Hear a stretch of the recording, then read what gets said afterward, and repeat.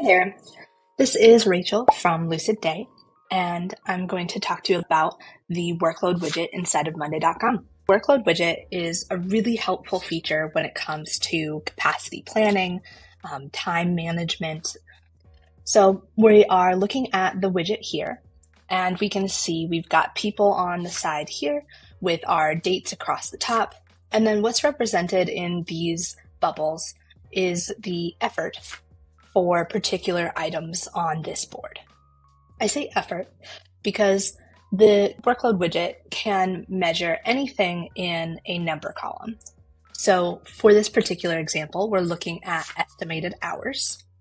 And these are assigned to the different tasks here with the individual owner and the due date. The workload widget can use number columns that represent story points or level of effort, like one through 10, anything that your organization uses numerically to measure the effort of an individual task or item. So, with this example being estimated hours, we can take a look here. And right now we're looking at individual days, but we can look at weeks and months even. So, we can take a look here, and this is visually represented as these bubbles that show how much effort or how, in this case, how many hours are going into a particular day for any individual. Liam actually has 12 hours assigned to him for the 11th. And that's just no good. He only works 40 hours a week. And so a 12 hour day seems like a lot. So click on this and we can see both of the items that are assigned to him for that day. So we can take a look at this information. This one is an estimate of four hours, whereas this one is estimated an eight, an all day sort of task. We can actually take this four hour and we can drag it to next week. You'll see also there is these hashes on the weekends and as well as Friday on Liam's, but not the other people's days. And so that is representative of his work schedule. I cannot put this here without a notice that it's scheduled on a non working day. And so instead, I'll move it to next Monday.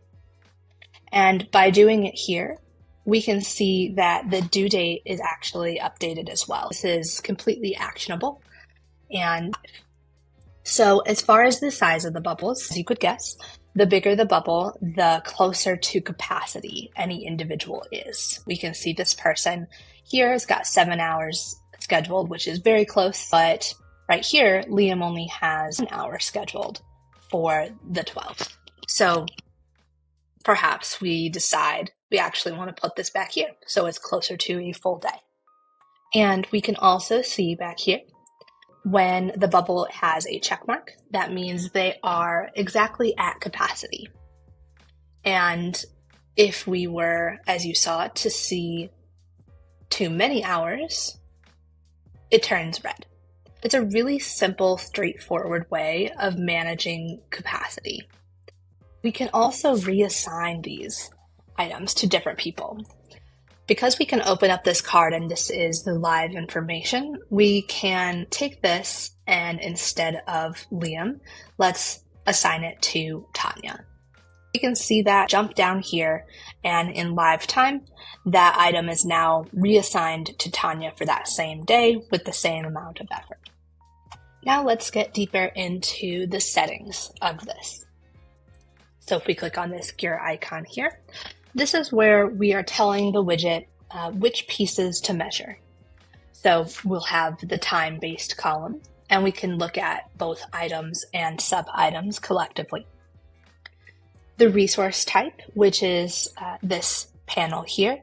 Most often, this is the people column for particular tasks, but this can be used in a variety of other ways. If we're looking at something like rented inventory, we could put the piece of equipment as the resource type and the time frame as the period of rental. And so we can see when things will be returned or how long it's going to be used for. But Most commonly, this is used for people and work week capacity. And speaking of capacity, by default, this is going to just simply count the number of items that are assigned. But using that number column, we can switch this to effort, which will show what we have just talked about. And we get to choose which number column represents the effort. And we also have the ability to tell it how to divide effort. Let's say this eight hour piece here we actually want two people on this. So we will add Rachel and Liam to this eight hour task. And so this is asking do we want to split that evenly between the people assigned?